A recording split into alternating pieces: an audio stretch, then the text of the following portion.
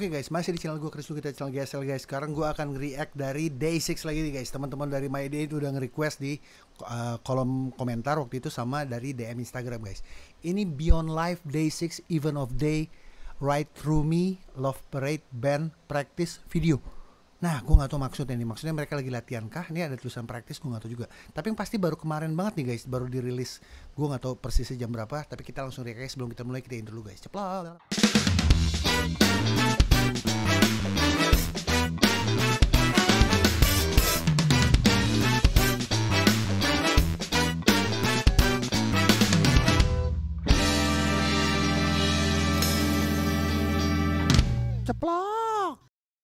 Oke guys, ini gue udah buka, gue pakai headphone gue dulu guys karena makin seru aja ngeriak pakai ini guys ya.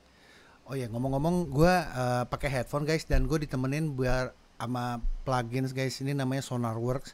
Gue gak di endorse tapi gue merekomendasikan banget guys karena akan membentuk uh, headphone kalian tuh lebih flat. Kelihatan gak sih ini? Ah itu SonarWorks reference nomor 4 guys. Oke guys, kita langsung react aja guys. Uh, Beyond Life Day 6 Even of Day uh, Right Through Me Love Parade Band Practice. Seperti apa guys? Ceplok.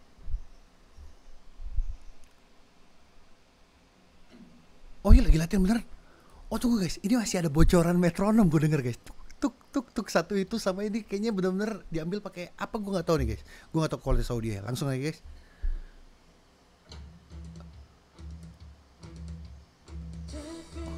Eh, tunggu tunggu. Kok bocoran metronom ada anjing seru banget. Oh, oke. Tadi ada ada gue dengar peralihan dari uh, sound recording itu dari ini apa kamera terus langsung di switch ke versi yang direct langsung masuk ke mixer guys ya lanjut lagi guys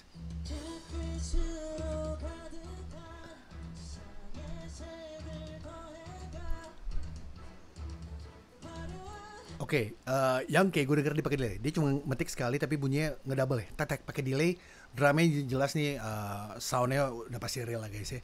Terus kalau One Pill belum main di sini guys. Oke. Okay. Sequence ya. Suara kayak beras itu, pet pet. Oke. Okay. Live ini guys. Oh, ini suara simbalnya gila daun kalau pakai apa ngambil-ngambil suara simbal tuh pemilihannya tepat-tepat semua menurut gue guys. Nih pas mukul nih. Asik gue suka banget tuh simbal kerasnya. Floor juga asik.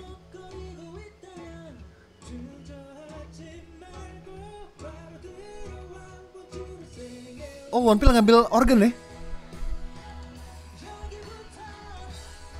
Udah enak banget suara simbalnya. Uh. Oh, nice. Di sini gue juga ini membuktikan guys ya Day 6 eh, gue bicara Even of Day sekarang guys.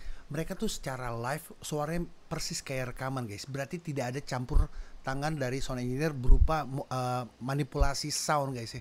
Jadi emang mereka tuh ngeteknya udah sempurna guys. Nih guys.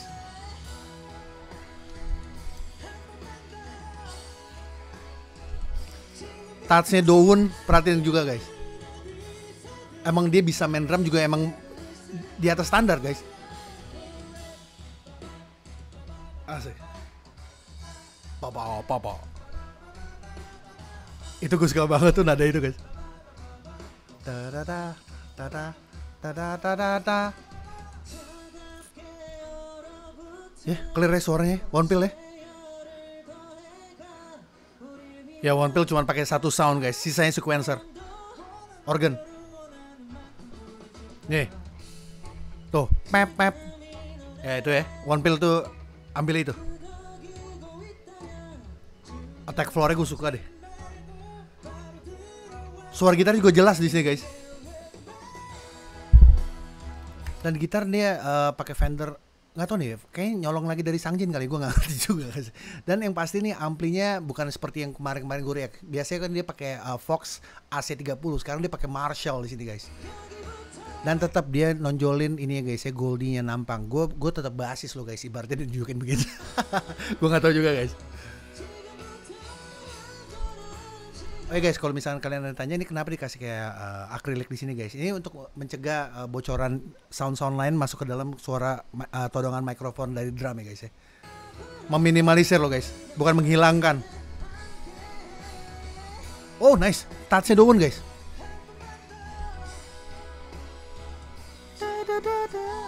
Oh, Yankee.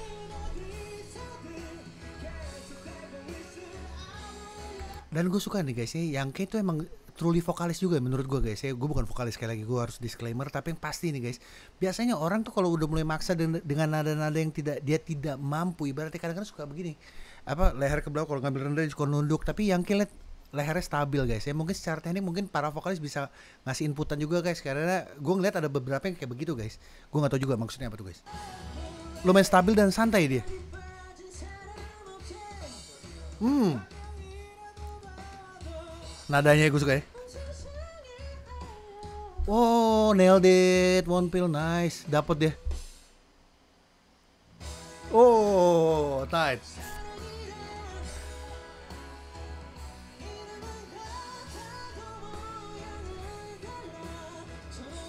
Ya gitar juga kedengeran gue suka nih guys. Permainan yang kayak di sini. Total di rhythm dia guys ya. Apa ambil distort.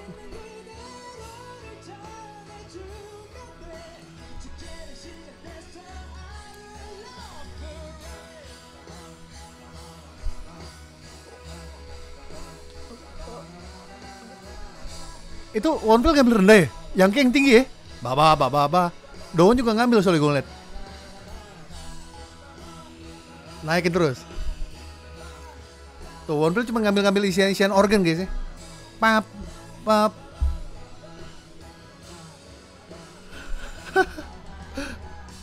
Wah asik.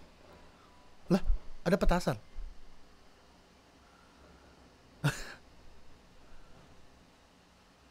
Oh jadi kesimpulannya gini guys. Ini ini jujur sih ini uh, good news buat gue pribadi guys di kuping guys. Selama ini gue mempertanyakan guys, kalau live itu kan banyak sequencer juga bisa memanipulasi juga ada hall juga.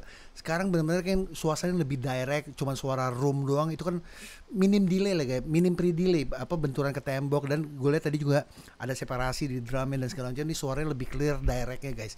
Ini pasti suaranya ini gokil guys dari vokal per instrumen mereka mainin. Ini lumayan, ini bukan lumayan ini emang rapi guys. Apalagi Daun tuh eh, dia punya pattern tuh stabil banget tempo kejaga. Ya kita lihat kan transisi tadi dari uh, sound kamera ke sound uh, mixer itu kelihatan guys. Ada masih ada bocoran apa metronom guys. Oke okay, guys thank you banget nih my day. Thank you for watching. Jangan lupa untuk like share dan komen di video. Jangan lupa untuk pencet tombol subscribe juga guys. Chris sign out. Bye bye